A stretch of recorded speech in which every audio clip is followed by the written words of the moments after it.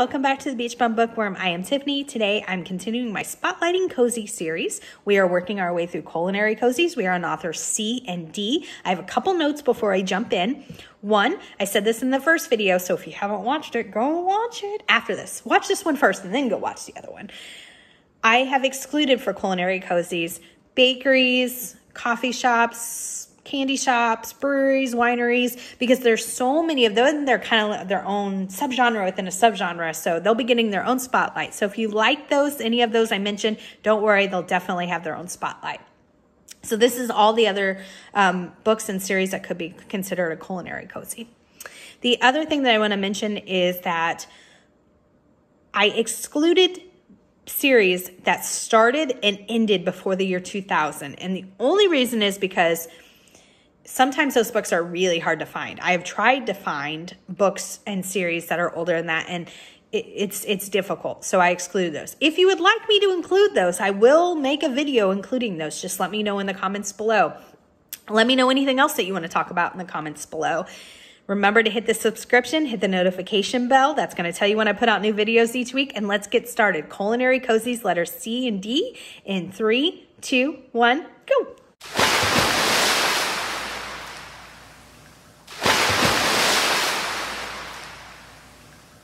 The first series is the Pizza Lover Mystery Series is by Chris Cavender. The book, the first book in the series is called A Slice of Murder, right here. The main character in this is Eleanor Swift. She is the owner of Slice of Delight Pizzeria. Not too much happens in the sleepy little town of Timber Ridge, North Carolina, which is fine with pizza extraordinaire Eleanor Swift. The spunky owner of a Slice of Delight is trying to mend her broken heart and could use a little quiet time. But when a late night delivery customer turns up dead, she's in for just the opposite in this delicious pizza debut. Seven books in this series. I love pizza. That sounds really, I love pizza. I'm excited about that one. So the next one is the Cackleberry Club Mystery Series by Laura Childs. I love this series, but I do have some, some things I want to say about it. Laura Childs is really wildly popular in co- in with in cozies, and she should be. She's a fabulous author. She has another series. It's a tea shop series. It's great. This one, the Cackleberry Club series. So the first book is called Eggs in Purgatory. It'll be right here. The main characters in this are Suzanne, Petra, and Toni. Suzanne, I think, is technically the main character, but those two play such a big part. I'm including them. They own the Cackleberry Club. It's a cafe knitting and crocheting corner, and bookstore. This is my first note. Let me just say, this sounds like heaven on earth to me. If I found somewhere that would deliver Indian takeout, I would never leave. You just look for me there. It's like it would be my my home away from home, my heaven on earth, my oh, I just but but but it's not probably the most realistic idea to think that a business could work with all of those different uh, interests all into one. I just don't know that that's realistic. But this is fiction, so I'm to go with it. Love it. This particular book says Susan, Toni, and Petra lost their husbands but found independence in each other and a life raft of in a life raft of support, inspiration, fresh baked goods, and their own business. But when the Cackleberry Club Cafe opened its doors in the town of Kindred, who'd have guessed the cozy oasis would become the scene of a crime? Suzanne's lawyer is found in his back in his car out back of the Cackleberry Club with egg on his face and blood on the dash. Suzanne's taking the crime personally. The murder not only reveals a scandal in her late husband's past, but a stranger fleeing a cult sect is begging Suzanne for help. Now, discovering a link between a dead man with secrets and a runaway cultist may be putting Suzanne's own life on the line. There are nine books in this series. I really enjoy it. I, I usually read each one when they come out. The other note that I want to make is I do wish that Suzanne was a little more nice. There are times when she definitely crosses a line between being rude and sometimes she can seem very pompous, which I just really dislike because it's such a fun series other than that. So, um, that's my that's my only note but i still always read the series. I still really enjoyed it. It's just a little hang up that i have. The next one is the farmer's daughter mystery series is by peg cochran. The first book is called no farm no the cover is right here. The main character is shelby mcdonald she's a lifestyle and cooking blogger in a small western michigan town of lovett First in the Farmer's Daughter mystery series set on a picturesque farm in Michigan, where Shelby McDonald runs a popular lifestyle and cooking blog. On her blog, The Farmer's Daughter, Shelby McDonald is growing her audience as she posts recipes, gardening tips, and her experience raising two kids and running Love Blossom Farm in the small western Michigan town of Lovett. This is going on my TBR. That just sounds amazing. Working on the farm is demanding but peaceful until that peace is shattered when the minister's wife is murdered on Shelby's property during a fundraiser for a local church. But the manure really hits the fan when Shelby's good friend, veterinarian Kelly Thacker, emerges, emerges as the prime suspect. Shelby decides to dig in and find the murderer herself. As suspects crop up, she'll move she'll have to move fast before someone else buys the farm. This series says it includes delicious recipes. There are three in this series. I have read the Cranberry Cove series, which is also by Peg Cochran, and it is great. So I will, not only does this sound fabulous and going on my TBR, but I know I enjoy the author. The next series is the Gourmet Delight Mystery Series by Peg Cochran. The first book is called Allergic to Death, right here. The main character is Gigi Fitzgerald. She is a gourmet care, uh, caterer. This series takes place in Connecticut. Preparing calorie conscious meals for the dieters of Woodstone, Connecticut, Gigi Fitzgerald knows a cheater when she sees one. And when the mur- and when murder is on the menu, she's ready to get the skinny on who done it. Business is looking up for Gigi's gourmet delight. And delight is spelled like light like the cooking is light. Funny. All right. Thanks to her newest client and restaurant reviewer, Martha Bernhardt. Martha has the clout to put Gigi's personal meal plans on everyone's lips, but instead of dropping a few pounds, Martha drops dead from a severe peanut allergy right after eating one of Gigi's signature dishes. When the distractingly debonair detective Mertz identifies traces of peanut oil in Martha's last meal, Gigi suddenly finds her diet catering business on the chopping block. Now she'll have to track down with who tampered with her recipe before her own goose is cooked. This says it includes delicious and healthy delight recipes. Three books in this series. Sounds really fun. The next one is the Gourmet Girl series by Jessica Conant Park. The main character is Chloe Carter. She is known in chat rooms as Gourmet Girl. She's a food connoisseur and the survivor of failed romances. it's funny. Uh, book one is called Steamed. It is right here. Chloe Carter's internet date commits the ultimate gastronomic faux pas. He dies before dessert. it's not funny that he died. It's just funny how they worded it. Ever in search of the perfect meal and the perfect man, 20 something grad student and food connoisseur Chloe Carter draws the line at speed dating. But when the Massachusetts native reluctantly signs up for the Back Bay dates, she's soon com- communicating with a guy after her own heart. According to his online bio, Dinner Dude, Eric Rafferty, a blonde six foot foodie, is a six foot foodie. They meet at a five star restaurant where everyone seems to know Eric, and he and Chloe are given the celebrity treatment. But their first date turns out to be their last. Before Chloe can say creme brulee, Eric is found in the men's room, fatally stabbed in the neck. Yikes.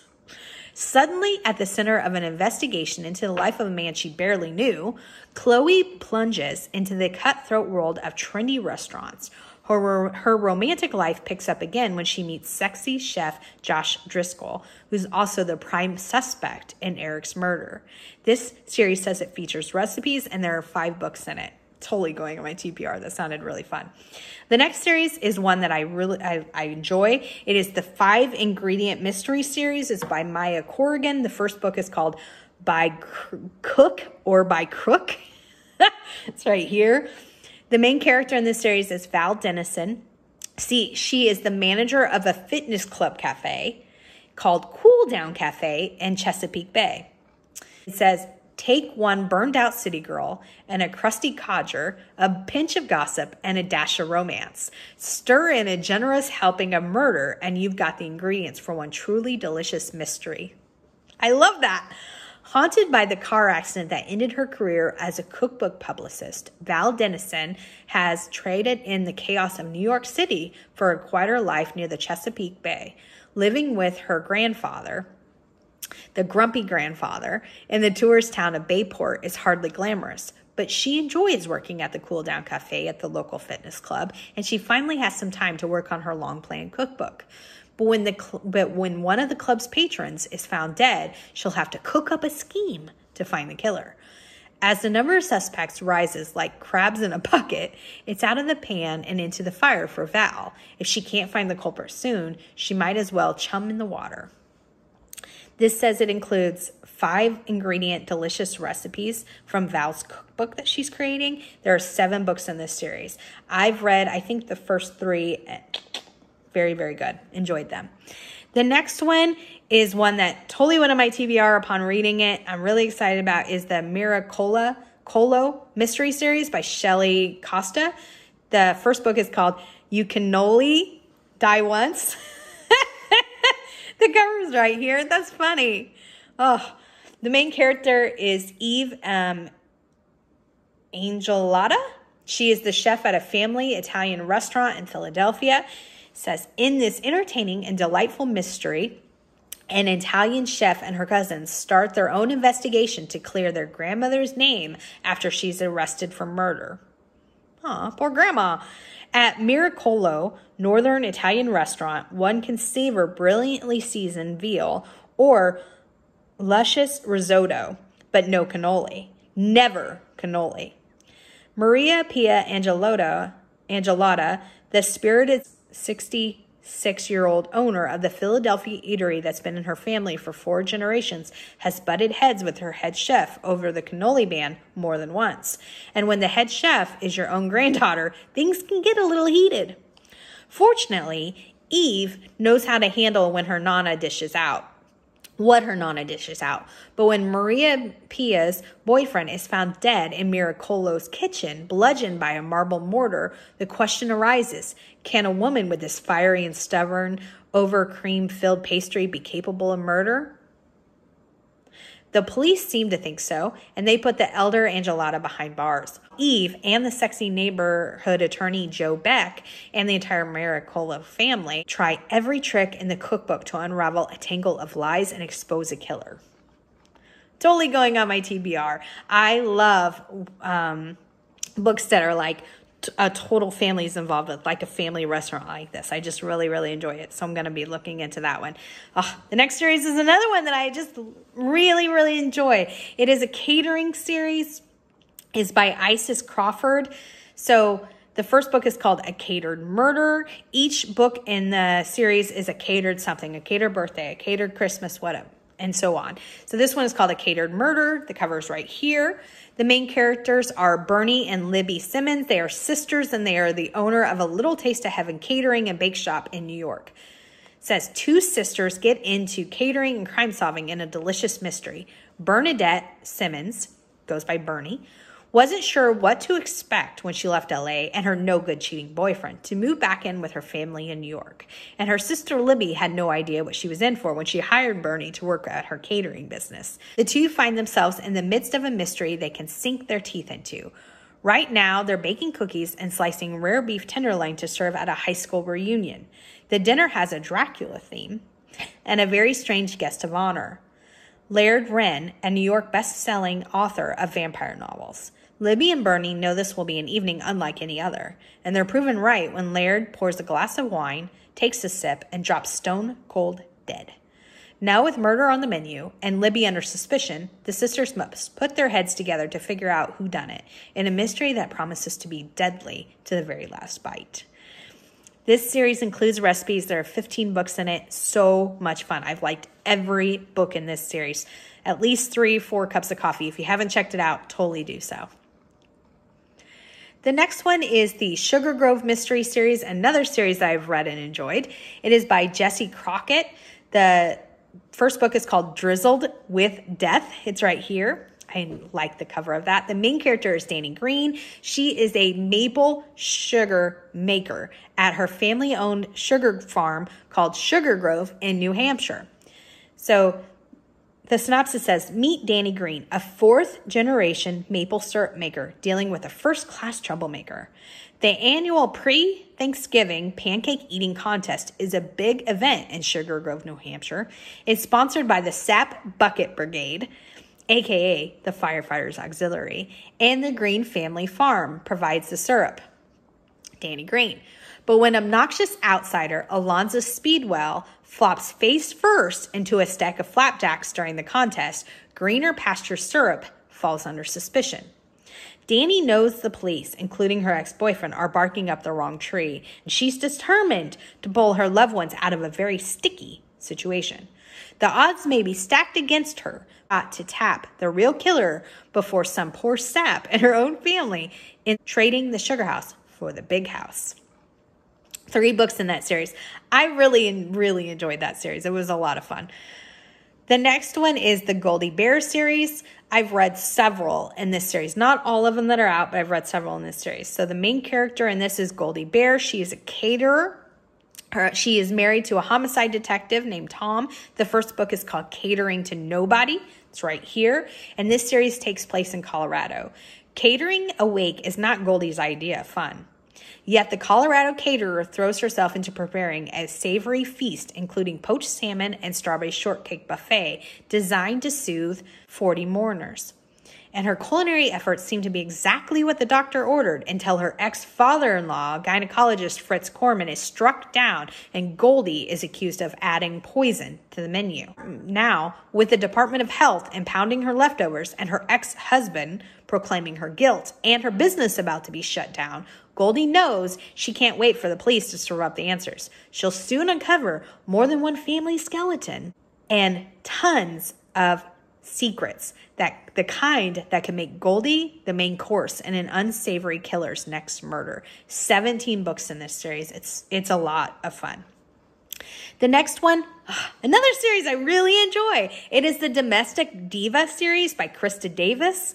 The first book is called The Diva Runs Out of Thyme. Thyme spelled like the herb thyme. Right here. The main character is Sophie Winston. This series takes place in Old Town, Alexandria, Virginia. Domestic diva Sophie Winston is about to learn that some dishes are best served cold. Few can compete with local celebrity Natasha Smith when it comes to entertaining, but Sophie Winston is determined to try. Her childhood rival may have stolen the spotlight and her husband. But this Thanksgiving, Sophie is determined to rob Natasha of the prize for Alexandria, Virginia's stupendous stuffing shakedown. This series, uh, the one note I'll say about it, I just because it's in my head right now is Natasha and and Sophie have a long withstanding um, relationship within this series, and there's a lot of uh, push and pull, and um, whew, yeah, th- this is not their first uh, collision or their last. She just needs the right ingredient to win the Virginia's Stupendous Stuffing Shakedown, which is a great name, but try to say it five times fast. Whew. But Sophie's search for the perfect turkey takes a takes a stumble when she stumbles across a corpse. And when the police find her name and photo inside the victim's car, Sophie will have to set her trusting aside to solve the murder, or she'll be serving up prison grub. This includes not only delicious recipes, but entertaining tips, which is one of the things that I love about this series. It's a lot of fun. 13 books in that series. Check that one out. The next one is another series I really enjoy. It is the Country Store Mystery series by Maddie Day. The first book in the series is called Flipped for Murder right here. The main character is Robbie Jordan. She owns Pans and Pancakes Country Store restaurant in South Lick, Indiana. In this freshly baked series, author Maddie Day lifts the lid on a small town in southern Indiana where a newcomer is cooking up a new start until a murder muddles the recipe. Nursing a broken heart, Robbie Jordan is trading in her life on the west coast for the rolling hills of southern Indiana. After paying a visit to her Aunt Adele, she fell in love with the tiny town of South Lick. And when she spots a for sale sign on a rundown country store, she decides to snap it up and put her skills as a cook and carpenter to use. Everyone in town shows up for the grand reopening of Pans and Pancakes, but when the mayor's disagreeable assistant is found dead, Robbie realizes that not all press is good press. With all eyes on her, she'll have to summon her puzzle solving skills to clear her name, unscramble the town's darkest secrets, and track down a cold blooded killer before she's the next to die. There are eight books in that series. It's a lot of fun. The next one is the Trudy Fine Mystery Series by Gail Deitch. The main character is Trudy Fine. She is the co owner of a catering company in Washington, D.C. The first book is called A Fine Fix. It's right here. With the table set, the food prepared to perfection, and the mariachi band sizzling, Trudy is uh, mellow as a margarita smoothie until a dead body is discovered floating in the pool. Things couldn't be better for Trudy Fine and her partner, Zachary Cohen. It's the first big job for their catering company, A Fine Fix, and everyone who's anyone in Washington, D.C. will be there for the backyard Mexican fiesta. Oh, this sounds like so much fun. When Zach is arrested as the prime suspect, Trudy sets out to clear him and find the real murderer. Life gets spicier than a jalapeno pepper when she realizes she's the focus of three men's affections, including the unnerving detective handling the case. Soon, however, Trudy is reaching for her favorite knife, but not to chop vegetables. This series says it includes uh, recipes, and there are four books in this series. It's definitely going to be added to my TBR. The next one is the Cook Off Mystery Series. I think I've read, I know I've read the first book. I don't know if I've read others in this series. I enjoyed it. It is by Devon, Devon Delaney. The first book is called Expiration Date. It's right here. The main character is Sherry Frizzell. She is a competitive cook who works part time with her dad and she owns a Jackal, Jack Russell Terrier named Chutney, which is just a really cute name for a dog. This series takes place in Connecticut. After a short lived marriage, Sherry Frizzell is living a single life to the fullest in her little Connecticut town, accompanied by her Jack Russell Terrier Chutney. Her new passion is competitive cooking. But it turns out that murder is a surprise ingredient. With, with contestants from Maine to California and a $10,000 prize at stake, Sherry's latest competition, hosted by the CEO of an organic food company, is sure to be heated. But she's more than ready to step up to the stove. After all, she did win the award for the most creative cupcake back in high school. Today, she's hoping her flavorful pork tenderloin will sway the judges. Instead, it seems somebody else slay one of the judges. After Chef Burns falls face first into the seafood flatbread pizza, Sherry's dish is deemed suspicious. Now she'll have to stir through a stew of rule breaking, corruption, and gossip to get herself off the chopping block and find out who turned this food fight fatal. This includes recipes, and there are four books in this series. I did read the first one, this one that I just talked about. It was really good. I forgot to look up what I rated it on Goodreads, but I know I rated at least three cups of coffee, which means I really enjoyed it. Thank you for sticking with me. That was culinary spotlighting culinary cozies, author C and D. I hope you enjoyed it, and until next time, may all your future reads be five stars. Bye, everyone.